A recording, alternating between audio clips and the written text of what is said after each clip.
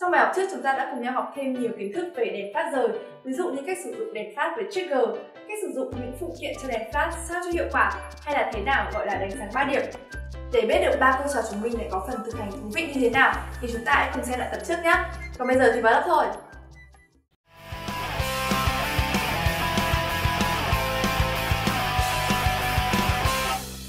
Xin chào các bạn đã quay trở lại với nhảy 360 tuần này. Tuần này chúng ta sẽ sẽ làm cái gì hả bạn?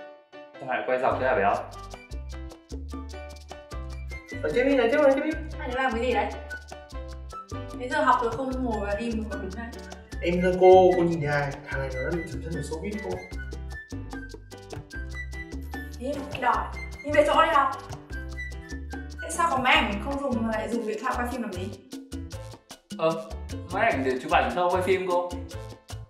học mãi chẳng khôn lên được thế nào thôi học về chụp ảnh nhiều rồi hôm nay cô sẽ dạy các em làm thế nào để quay phim máy ảnh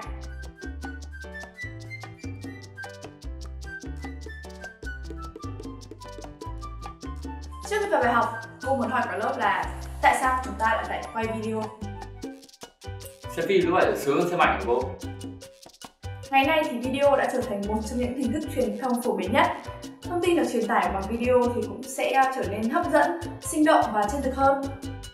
Giả dụ mà cái lớp học này được quay phim lại xong rồi à, đưa lên mạng kiểu gì cũng được mấy triệu lượt xem ấy. Nhưng mà ấy, cô ở lớp này toàn dạy cho các bí kíp thôi nên là quý lắm dạy hai đứa thôi nhá. Học hành cẩn thận vào tất cả những kiến thức mà chúng ta học về nhiếp ảnh thì đều có thể áp dụng vào quay phim. Vì vậy nên là chụp ảnh mà giỏi rồi ấy, thì học quay phim thì cũng dễ dàng thôi ngày nay thì hầu hết các máy ảnh đều có chức năng quay phim. Mà so với điện thoại thì à, quay phim bằng máy ảnh sẽ chất lượng hơn uh, kiểm soát ánh sáng tốt hơn rồi là thay được ống kính các thứ. Mà so với máy quay phim thì máy ảnh lại uh, nhỏ nhẹ hơn tiện lợi hơn. Vì vậy nên là quay phim bằng máy ảnh là một lựa chọn rất tốt. Để quay phim bằng máy ảnh thì chúng ta cần thực hiện một số thao tác sau. Đầu tiên chúng ta cần chỉnh máy về chế độ quay phim. Sau đó khi bắt đầu quay phim chúng ta ấn nút Start, Stop. Và khi kết thúc quay phim chúng ta cũng bấm nút này.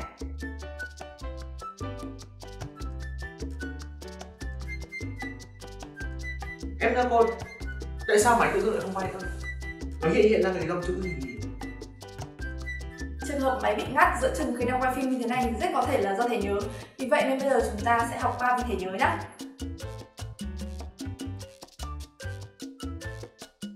Có hai loại thẻ nhớ mà chúng ta thường gặp đó là thẻ SD và thẻ CF vì dung lượng của video là cao hơn so với ảnh bình thường cho nên nếu thẻ nhớ của các em có tốc độ ghi chậm thì có thể sẽ khiến cho video bị dừng lại khi đang ghi hình.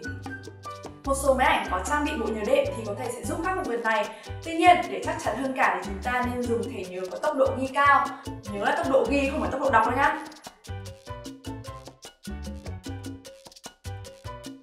Tiếp theo, chúng ta sẽ sang phần tỷ lệ của khuôn hình.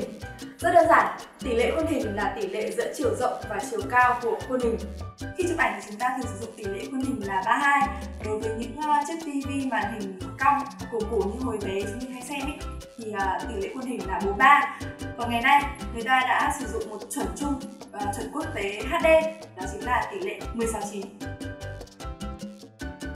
Ờ, thế có được sử dụng các cái khuôn hình không cô? Kiểu ví dụ là em thích hình khuôn để em post lên Instagram ấy. Những tỷ lệ khuôn hình mà cô vừa giới thiệu thì chỉ là những tỷ lệ tiêu chuẩn và phổ biến nhất. Còn à, việc sử dụng tỷ lệ khuôn hình như thế nào thì à, còn tùy vào ý đồ và sáng tạo của mỗi người.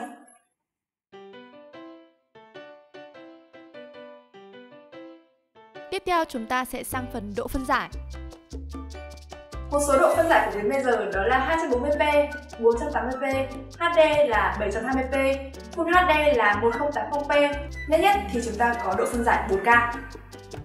Nói tóm lại, độ phân giải càng cao thì hình ảnh sẽ càng sắc nét và chi tiết hơn.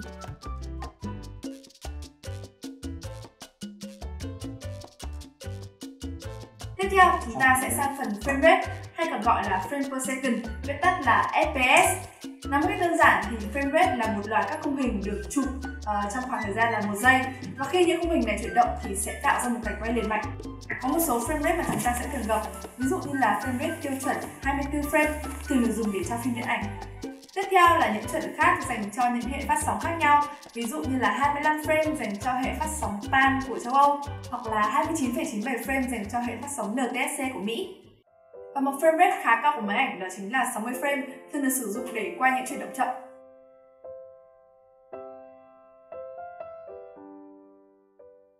Ngoài ra các em nên lưu ý khi chúng ta quay một video bằng nhiều máy thì à, chúng ta nên cài đặt cùng một frame rate để à, không gặp khó khăn trong phần hậu kỳ nhé. Vừa rồi là những kiến thức cơ bản nhất về quay phim, sẽ còn rất nhiều kiến thức hay ho và thú vị ở buổi sau đấy. Nhớ đi học đầy đủ nhá.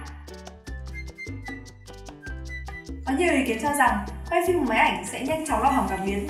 Tuy nhiên thì sự thật không phải như vậy. Khi chúng ta quay phim có lớp bằng máy ảnh thì cảm biến có thể sẽ bị nóng lên, dẫn đến hiện tượng quá nhiệt và gây ảnh hưởng đến tuổi thọ của máy. Để khắc phục việc này thì các bạn nên quay những đoạn video ngắn với thời lượng khoảng từ 20 đến 30 giây một video để cho cảm biến không bị quá nóng. Việc này sẽ giúp cho cảm biến và tuổi thọ của máy ảnh không bị ảnh hưởng quá nhiều. Và đó tất cả những gì có trong bài học ngày hôm nay. Xin chào tạm biệt và hẹn gặp lại.